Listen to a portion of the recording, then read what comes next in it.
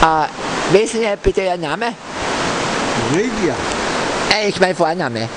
Ludwig, Sind Sie aus dem Bauernstand oder aus dem Techniker? eigentlich auf dem Bauernstand. Haben Sie einen Vulgonamen? Was habe ich?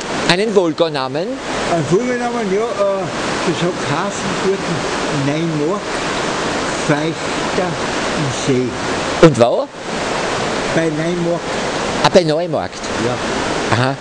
Das ist die steirisch-kärntnerische Grenze da in der Nähe, gell? mehr weit weg sind äh, 16 Kilometer. Schmelz, 16 Kilometer. äh, Schmelz, Bundesheer und so weiter, gell?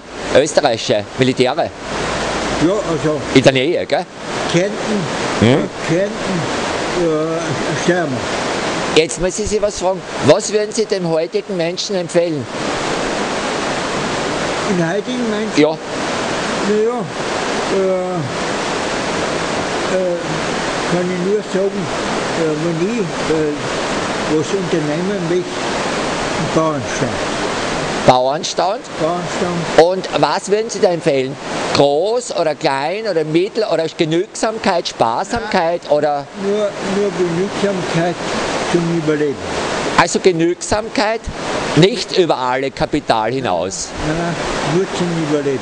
Dass man selber eine Familie gründen kann und Ja. sie erhalten kann. Weil wir haben ja so angefangen vor 70 Jahren und dann äh, richtig wieder zurück, bis vor 70 Jahren war. So wie es war, die Schönheit.